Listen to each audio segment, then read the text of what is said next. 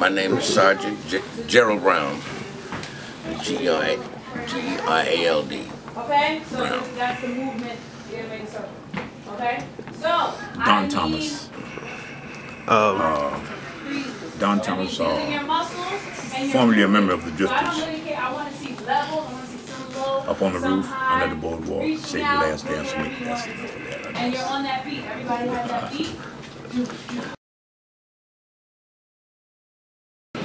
Well, um, But to uh, Where you support whatever I can support as far Okay? as children add uh, that. Add getting in the pop in a positive zone and uh, closest to God to God.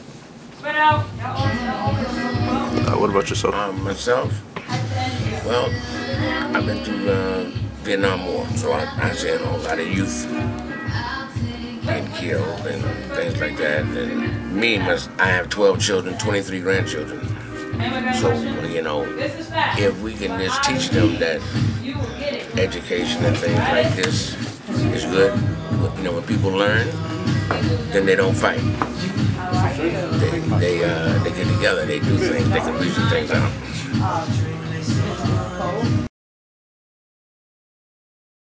The Drifters out in um, the Hall of Fame and out Round, two, three, worldwide. five, six, seven, eight. Left toe, right toe, Uh, left, you know, in the business, I, uh, left toe, left, up, slide. Beat cancer. Ha, ha, boom, Give all praise to God. Um, how long were you actually uh, your membership with the Drifters? With, with the Drifters. I was with them for 20 some years with the Drifters. Before the Drifters, uh, James Brown was my manager for three years. James Brown, Godfather Soul. And he brought us my group to New York. He was co-starring for all the big groups in the world. And uh, he accepted us and we recorded on King Records in Cincinnati, Ohio. Did Willie John, the Midnighters. And uh, from there, he brought us to New York. And uh, they needed a lead singer with Drifters. They had to have a fellow in. His name was Charlie Thomas. And I took his place in the group. And uh, from there, it was like history with the Drifters. Do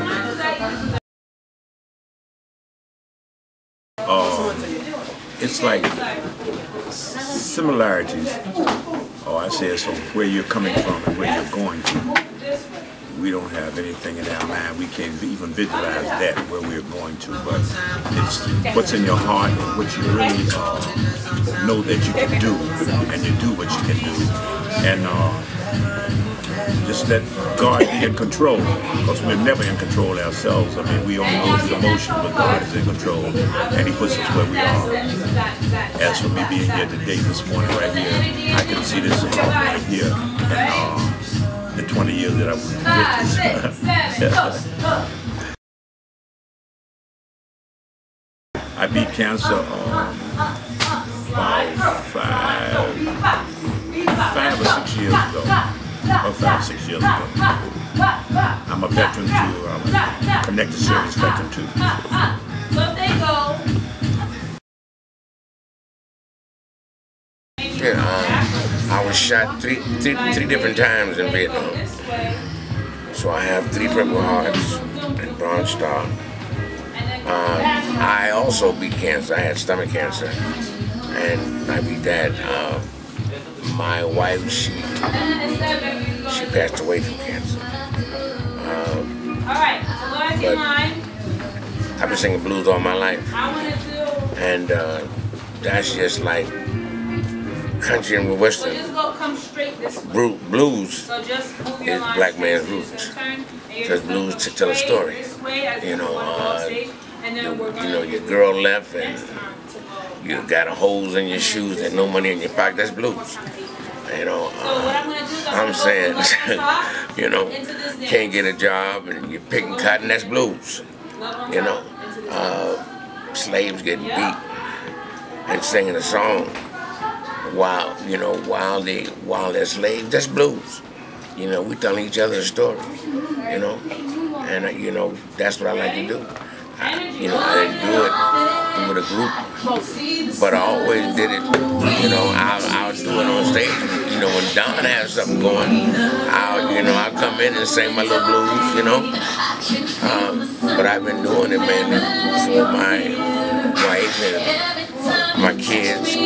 I got a, I got a seven-year-old granddaughter. She sings blues. She likes blues, you know. So, you know, my roots, my, my roots are Holly Hill, South, South Carolina. You know, like Pearl was talking about a, a song I wrote called Down South Woman. That's blues, you know.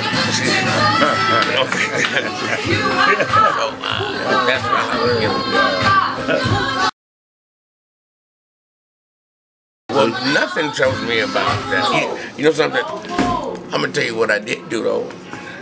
My uh, my my granddaughter, the 11 year old, she had a she had a trouble. She had a little problem with history and math, but she can write rap. But she can write rap, rap songs.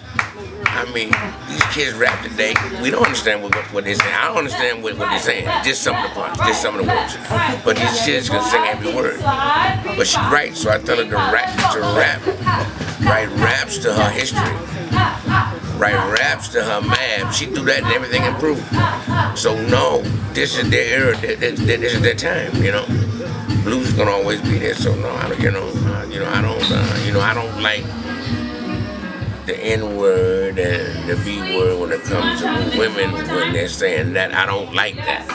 You know, I don't let my my children and my grandchildren, even though my children is grown and they probably some of them probably like it, but they don't like it in my house because they ain't, gonna be in my house. You know, I don't let my grandkids, you know, do it when they're right. They take that out. That's the only thing that I just want to But if, you know, it's whatever suits you, you know, that's that's it. So what about yourself? Well, no, when I was young, uh, I was dedicated, dedicated and devoted to music. From uh, a kid, my whole family was theatrical playing. And everybody was we were singing at a young age. I was like singing from 11 years old.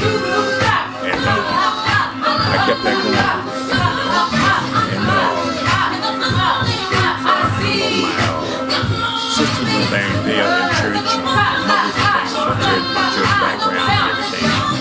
And uh, I just think that it's something that they should be doing, what they're doing. They should put their heart and soul into it. If they can, they can go as far as God can take them, and He will take them a long ways. But first, they have to surrender to Jesus Christ Almighty. Otherwise, uh, it's a wrap, it's over. You know? But they're doing good things, and what they're doing now, and a lot of people is doing remixing, remakes of things, but it's coming from where I came from. You know, but we didn't do remixes and all that kind of stuff. We did we were doing. Beautiful lyrics, beautiful songs, beautiful ballads, beautiful uh, uh, hip hop type songs. I'm say hip hop, but a partially a part of jazz. Jazz came along with this, you know, and uh, it was just a hard working thing. And we got uh, a lot of things that I didn't know about as far as booking or, or getting itineraries and things as to put myself in places that I wanted to be at and all that. It was like people just verbally telling us things and we just got beat out of a lot of things. We never got the props and the money that we should get. No groups that's out there have ever gotten you know. And it was that doggy dog world. Doggy dog world. You know, and people just took advantage of us, you know. This is a picture of me here. Uh, I did the, uh, the news. Uh, they came to me not too long ago and they did the news. Uh, uh, a story on me. And uh, I have a part here about my son. He was killed and uh, somebody was shooting at somebody else and they killed my son, Kenyatta, my baby son. He was like 38, 39 years old. This been about a year ago, two years ago. And uh, my, one of my daughters died, you know, My wife cancer. And uh, I beat cancer, so it's what God have in store for us. And I guess that's what we got to make it, you know. But he has to be first in my life and everything I do. Every song I sing is in it, you know. And that's just to me. But this picture here is like from the, uh,